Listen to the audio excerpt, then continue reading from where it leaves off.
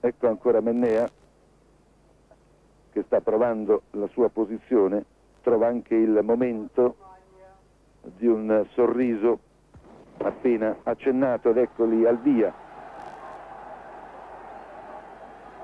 Mennea è ancora sulla curva leggermente attardato, vedete che Lara è in buona posizione, si distende poi con estrema facilità, seguito da Cuorri, poi dal polacco Dunecchi e quindi da Lara. Bravissimo, bravissimo Piero, ecco questa volta 20,70 è il risultato cronometrico, c'è la conferma di quanto avevamo detto in precedenza. Pietro Mennea.